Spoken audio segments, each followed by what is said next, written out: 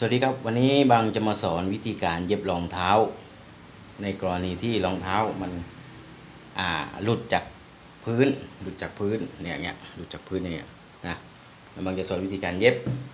เข็มเนี่ยเราต้องใช้เป็นเข็มฟักนะเย็บก็คือเราแทงเข้าไปเนี่ยเราแทงเข้าไปในตัวรองเท้าแล้วเราใช้ได้ ได้นนี้ก็มีทุกสีนะใช้ได้ ฟักมันออกมา ดึงได้มันออกมา อ่า เราดึงดึงได้มันมาได้เสร็จ แล้วก็วัดให้ได้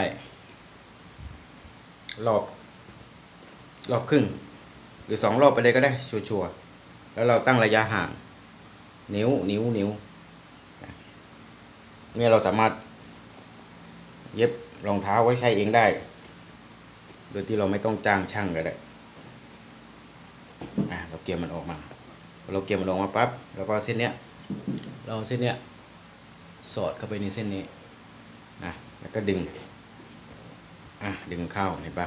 แล้วก็เย็บตาต่อไปเราสามารถ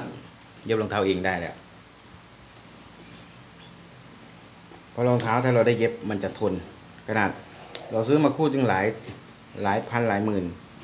ยังไงมันก็ต้องต้องต้องเย็บนะ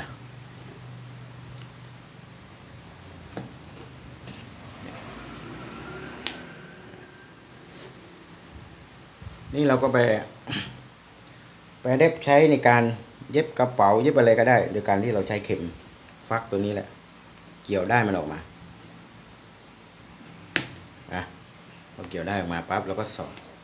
สอดแล้วเราก็เย็บกลับเดี๋ยวที่เราไม่ต้องไปหาช่างก็ได้บางทีช่างรองเท้าดีๆ มันก็ถ้าช่างไม่ไม่ไม่แม่นจริงที่ก็อาจจะทำให้รองเท้าเราพังได้นะเนี่ยเห็นไหม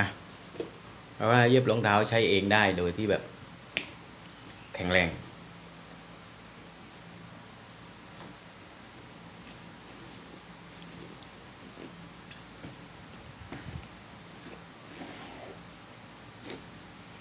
เนี่ย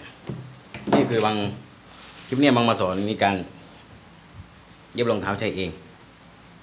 เข็มตัวนี้จะเป็นเข็มฟัก มันจะมีปลายเงี้ยงเนี่ยนะและได้ตัวเนี้ยเวลาเราเกี่ยว เราก็สอดเข้าอย่างนี้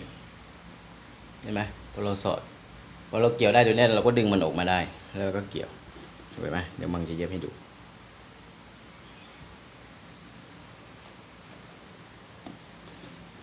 แล้วเกี่ยวมันออกมา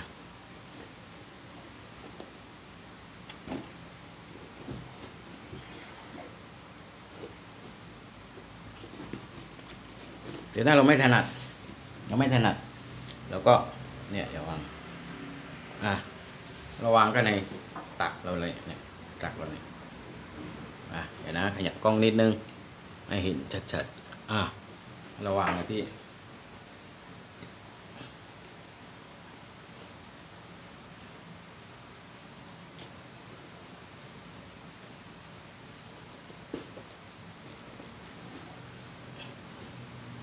แล้วก็ใช้ขาตองขาเนี่ยแล้วหนีบหนีบตัวนี้หนีบล็อกรองเท้าไว้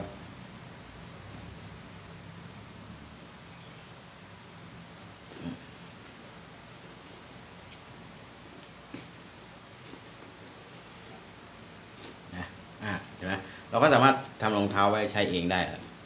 เราสามารถซ่อมรองเท้าไว้ใช้เองได้ นะ วันนี้ก็แค่นี้ก่อน ก็อย่าลืมกดไลค์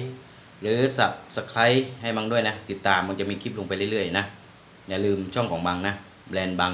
ชวนทำหนังเข้าไปดูได้เลยนะวันนี้แค่นี้นะครับ